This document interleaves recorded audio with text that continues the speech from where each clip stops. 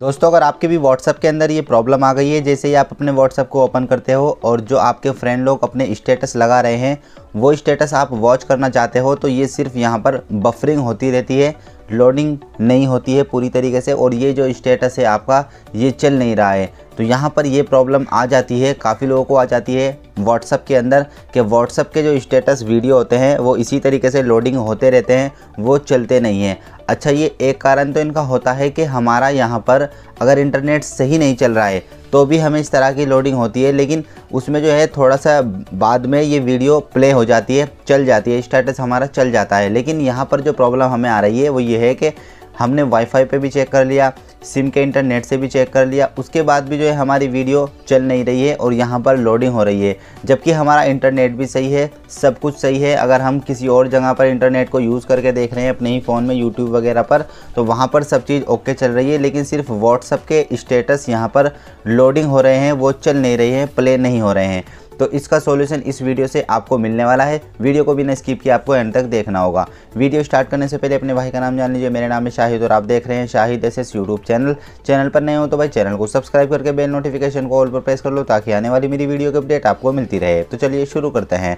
तो दोस्तों, अगर आपके भी स्टेटस चल नहीं रहे हैं। यहाँ पर ये सिर्फ़ इस तरह से लोडिंग हो रही है, जैसे कि आप देख रहे हो। ये लोडिंग अगर आपकी हो रही है तो इसके लिए आपको करना क्या होगा? आपको अपने व्हाट्सअप का डेटा क्लियर करना पड़ेगा।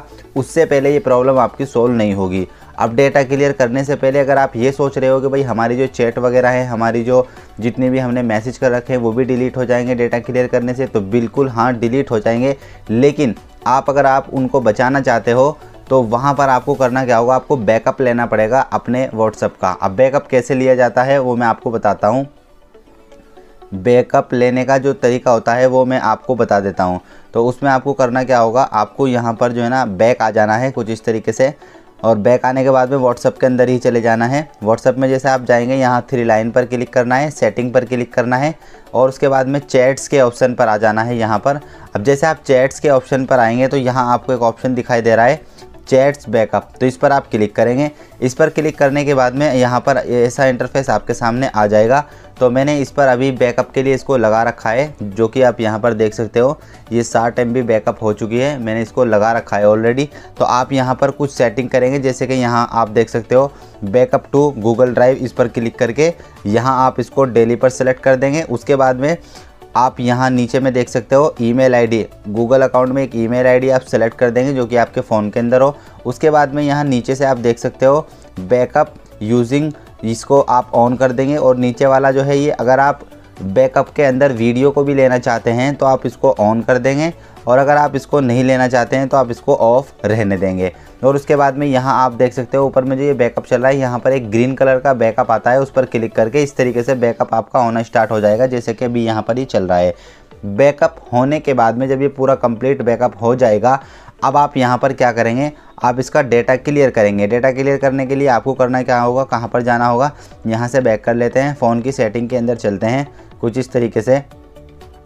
फ़ोन के सेटिंग के अंदर जाकर भी आप जा सकते हो और इस तरीके से भी जा सकते हो। जैसे कि ये सिंपल तरीका है, जैसे कि व्हाट्सअप है। व्हाट्सअप पर लॉन्ग प्रेस करके इस तरीके से रखना है और ऐप इन्फो के अंदर जाना है। उसके बाद में ये वाला इंटरफेस आपके सामने आ जाएगा। अब यहाँ ऊपर में स्टोरेज पर क्लिक करेंगे।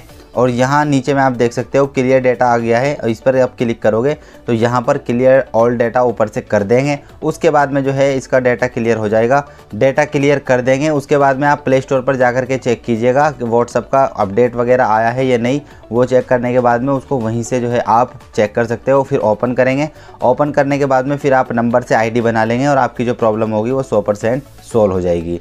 आई होप कि आपको वीडियो अच्छी लगी होगी, आपको पसंद आए तो उसको लाइक करें शेयर करें, मेरे चैनल को सब्सक्राइब करना ना भूलें। तो मिलते हैं आपसे अगली वीडियो में।